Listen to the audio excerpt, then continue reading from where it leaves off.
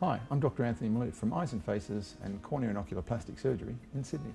We need surgery for pterygium because there is no medical treatment. Pterygium is a scar that grows across the eye. It's literally a scar that walks across the surface of the eye and it keeps going. It can cause you irritation, redness, discomfort, social embarrassment. The cops can pull you up and accuse you of taking drugs. Your friend thinks you're on drugs or you're hungover.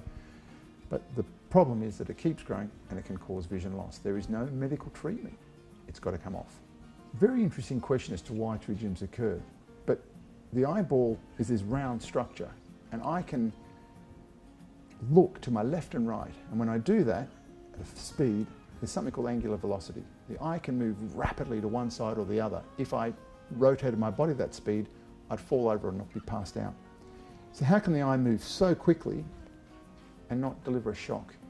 It's surrounded by a very soft coating, like a soft sponge, and that in turn is surrounded by fat. So it's a shock absorber. The problem is in that soft coating, there's cells, and those cells, when they're switched on, become aggressive scar, which acts like concrete and it can just contract and uh, pull the eye to one direction if it's very aggressive. It also accounts for the recurrence of pterygium after pterygium surgery. What we do is we've got to do something which I call clear and close.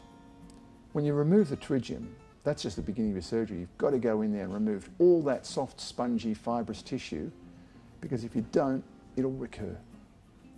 That's clearance. An extended clearance is going all the way around the side of the eye to make sure it's gone.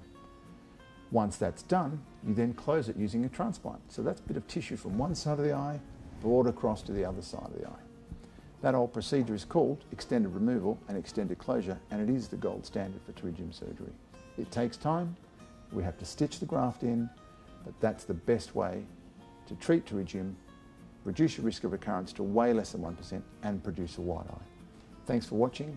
I'm Anthony Maloof from Cornea and Oculoplastic Surgery and Eyes and Faces in Sydney.